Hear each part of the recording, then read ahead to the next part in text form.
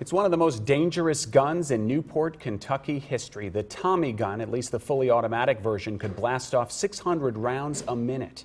Our own Tony Mirones is looking into why the city of Newport wants to get one now when it was decommissioned more than 30 years ago.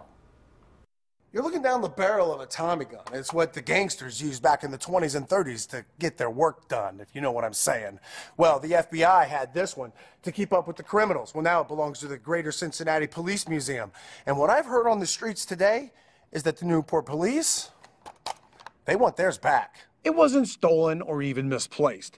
The city sold it about 30 years ago. They just didn't need it anymore. So why look for it now? They would want it back because it really is influential um, in Newport's history. The gun was invented and manufactured here in Newport. The price was about $240. That's about two months' salary for the average American back then. But it was likewise one of the few places that we have it where it was recorded by law enforcement. Jerome Gales recently produced a documentary about Newport gangsters. During the 1920s, uh, one of the few times in our history that the or really the gangsters, that they their artillery was a lot heavier than what the police you know could handle. Newport's gun used to ride along on this motorcycle, now parked in the local police museum.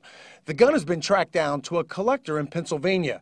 It could cost a pretty penny. It takes a special license to even fire one. You don't find many gun ranges with them, um, and some of the times the places that do, because they are so heavily regulated now, that um, you know it's, it's sometimes kept behind locked door. Before the city puts it on display or even buys it, it'll need to come up with about 25 G's. Tony Mirones, 9 on your side, Newport.